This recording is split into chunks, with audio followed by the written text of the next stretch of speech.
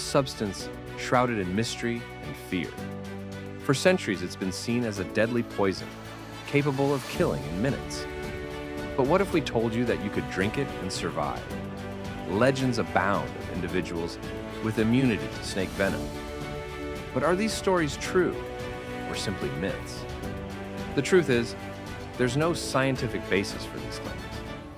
Snake venom is a complex cocktail of toxins designed to disrupt bodily functions. Injected directly into the bloodstream, it can be lethal. But what happens if it's swallowed? The stomach is a hostile environment. Its acidic nature and digestive enzymes break down proteins, including those found in venom.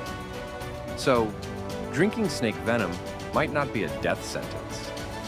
But there's a catch. Any open wounds in the mouth or digestive tract can allow venom to enter the bloodstream, potentially leading to serious complications. If you're ever bitten by a snake, seek medical attention immediately. Don't rely on myths or home remedies. The natural world is full of wonders and dangers. Understanding the science behind them is key to our safety and appreciation of its complexities.